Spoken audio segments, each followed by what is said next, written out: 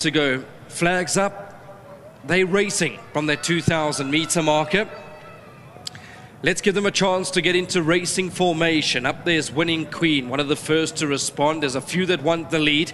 Midnight Crystal also shows intent, and Summerland on the outside of that one also showing a bit of intent with United Express. So a mad scramble for the lead.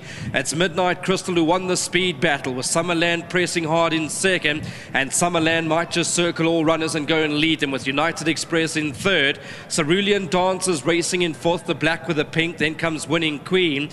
Ideal Future's got five to make up as we drop back to the red cap of On Pity Pat, the black cap of Liverpool legend. Go Flickerty's racing about seven lengths off the leader, and last cheer's been switched off, and that's only eight lengths off them. Directly on the far side of the track, it's Midnight Crystal in front by a length and a bit. In second is Summerland. United Express is in third. Cerulean Dancer with Winning Queen. Ideal Future.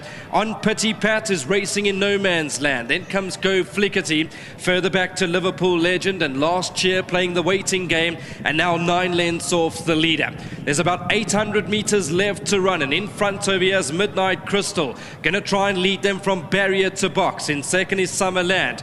On the inside is United Express waiting to pounce, winning Queen. Go Flickerty now gets a shake of the reins. Cerulean Dancer to the outside. Ideal Future, Liverpool Legend, and Last Cheer. And on the extreme outside is On Pity Pat. Race develops and Midnight Crystal goes two lanes clear. Winning Queen is in second. United Express. Yes, Go Flickerty out the pack and chasing. Midnight Crystal, Winning Queen, Go Flickerty. Last Cheer's also a massive runner. Last cheer now comes from last to first. Last cheer and Ryan Munger go for home. Last cheer going to be very hard to beat. In second is Go Flickerty, but last cheer switched it on and goes away to win very impressively. Last cheer is going to win it geared down to victory. Second Go Flickerty. Third was Liverpool Legend. Then came Winning Queen. Midnight Crystal went hard up in front and has stopped to a walk. Folded late in the day. All right, so last cheer, well done to St. John Gray. You'll be very happy with this performance. At about 4 Rand 90 a win on the tote and 1 Rand 50 a place. Picked them off one by one and was just geared down that last part. And there goes last cheer straight into the number one box. And that's how we run race number six. I'm going to hand you back to the studio. We'll be back for the penultimate, and that's race number seven. Number two, last cheers come through for. John Gray, owner, breeder, trainer. Well done. John. Four-time winner, over 350,000 Rand now, and Ryan Munger aboard this afternoon. You timed that to perfection. You sat near the back, and when you pressed the button, it was all over. Yeah, exactly. You know, um, kudos to Mr. Gray. He found a perfect race for this filly, and I thought she was the right sort of filly in this race. And you know, what was nice is for, for this sort of division, they actually went a very genuine pace. So being at the back of the field, I didn't have to stress too much. I was, I had the third horse next to me, the second horse in front of me, and yeah, once those front horses got tired, was just a matter of just weaving my way through, getting, getting a clear run for her at about the 400, and yeah, she's won a very good race. It's nice to have her back in the winner's box. I have had a few close seconds with her, but it's nice to finally get a win on her. And third for St. John as well, so a good race all round.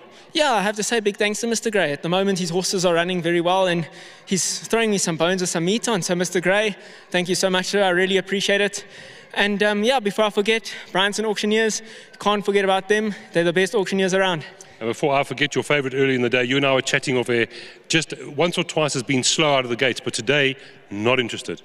Yeah, geez, you know, Lyle, I was very gutted with that. I really thought he would just about win that race. And I, I, it's a horse I've got high hopes for. And, you know, the best analogy I can put for the public and the punters out there, it's like getting into your nice fancy Ferrari, turning the ignition on, and the car doesn't start. You know, the gate's just open and he didn't want to go. So hopefully we just get to the bottom of him. I'm sure he'll be back. He is a very nice horse.